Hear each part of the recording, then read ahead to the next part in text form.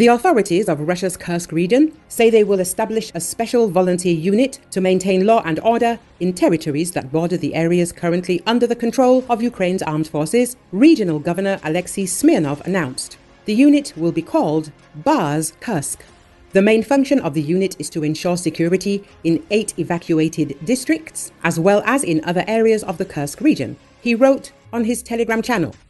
He noted that volunteers who sign a contract will undergo training and receive weapons. The contract will be for six months, with their current employment and work schedule preserved. The unit's tasks are not limited to ensuring security, but also include participating in the life support of evacuated areas to help those who remain during this difficult period, Smirnov added. He also said that all actions of the Kursk region volunteers will be coordinated with the army and the so-called counter-terrorist operation headquarters. On August the 6th, Ukraine launched an offensive into Russia's less fortified Kursk region, surprising Moscow and forcing Russian conscripts into battle to try to contain Kiev's progress. The Kremlin responded by declaring a counter-terrorist operation in the Kursk, Belgorod and Bryansk regions, However, Ukrainian forces have continued their offensive, which shows no signs of slowing down. Since March the 22nd, when the large scale invasion took place, volunteers have been able to join BARS units for short term service. BARS units are predominantly light infantry formations which lack integrated artillery or armoured vehicles. British military intelligence added. Without organic artillery and mechanized assets, these BARS units are essentially light infantry. Thus far in the conflict, Russian military leadership has used such light infantry formations as cannon fodder to attrite Ukrainian resources with little regard for the survival of its own troops. Today, there are over 30 BARS units spread across Russia, with a good chunk of them in the western part of the country. The creation of the BARS Kursk volunteer unit is almost certainly a Russian response to the Ukrainian incursion into the Russian Kursk Oblast which began on the 6th of August 2024, British military intelligence stated.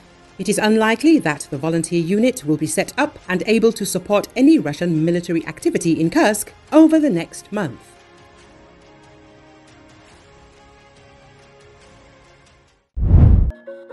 Ukrainian military in the Kursk region closed the cauldron, in which about 3,000 Russian soldiers found themselves, writes Bild. Several days ago, the Ukrainian armed forces managed to occupy the village of Krasnooktyabrskoye, as a result of which the eastern border of the cauldron, which is blocked from the west by the state border, and from the north by the Seym River, was completely closed, notes Bild military observer Julian Röpcke, citing satellite data. According to the publication sources familiar with the situation, the area of the cauldron could be about 700 square kilometers.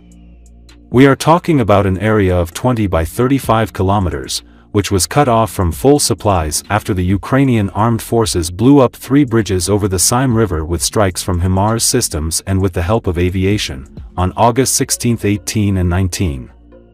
The bulk of the encircled Russian military is in the villages of Tyatkino and Glushkovo, a thousand in each, and another thousand are along the border, a Bild source indicated earlier. The cauldron was closed even though the Russian military managed to drive the Ukrainian armed forces out of the village of Korenevo, which had been under Kiev's control since August 20, along with the railway station of the same name, Röpcke notes.